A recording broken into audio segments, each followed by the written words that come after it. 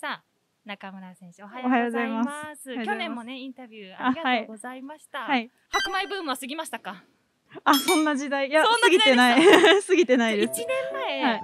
インタビューして、はい。朝食何食べました？って私質はい。問したんですけど、はい。何食べたか覚えてますか、一年前ですか？卵かけご飯？これそうなのかな？あ、違うかな？白米味噌汁卵っておっしゃったあー、多分そんな感じですね。卵かけご飯味噌汁。あ、多分そうでですその当時白米ブームですブ。ームですかあ今も白米ブームなんですけど、今朝は、あの、あの、余ってたじゃがいも食べなきゃと思って、じゃがバター朝から。じゃがバター朝からじゃがバターはい。結構縁日で食べるような高そうです。カロリーの美味しいやつですね、はい。じゃがいも余っちゃって、はいいい。ですね、はいパワーつきそうなはい。さあそれでは今年ははい。新しく始めたこと、去年はロッククライミングだってボルダリングを始めたいとおっしゃってたじゃないですか、それはあ、始めてません。始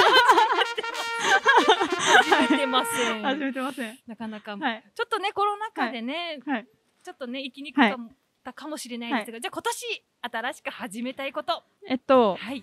最近家で、あの、電子ピアノ、キーボードを趣味程度にひ弾いてます。おピアノ。はい。